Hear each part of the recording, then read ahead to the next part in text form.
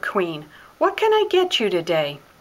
I came here to say that I do not recognize anyone's right to one minute of my time. Uh, okay. If you want to think it over, can you stand over there so that I can help other customers? At time like this, we can't afford luxury of thinking. Would you like to speak to the manager? Man who lets leader prescribe his course is a wreck, being told to scrap heap.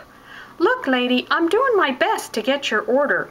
I'm not asking you to do your best. I'm asking you to do your job. What's the hold up? Ayn Rand is placing an order.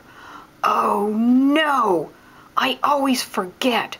I shouldn't come to Burger Queen on Objectivism Tuesdays. Um, Bessie. Bessie. Bessie, I got a live one out here.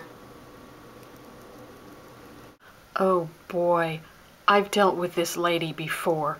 Stand aside, Alice. Good afternoon, Miss Rand. Let me help you today.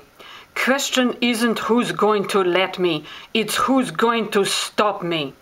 The last time you were here, you ordered the Sparkle Princess hamburger with extra pickles. Did you like that? I threw it down air shaft. There's concrete floor below. Okay, no Sparkle Princess hamburger with extra pickles this time. Ork! Polly's gonna need more than a cracker when this is all over. How about a whole bottle of rum? Ork, I'm with you, sister.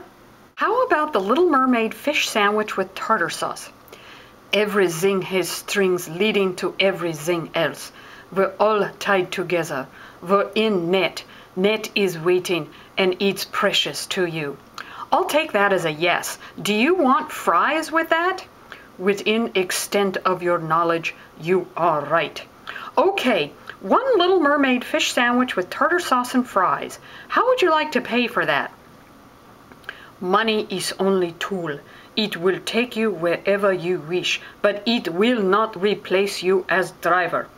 That's a great idea. Next time, use the drive-up window. Here's your order, Miss Rand, and come back. You have been one encounter in my life that can never be repeated. We can only hope.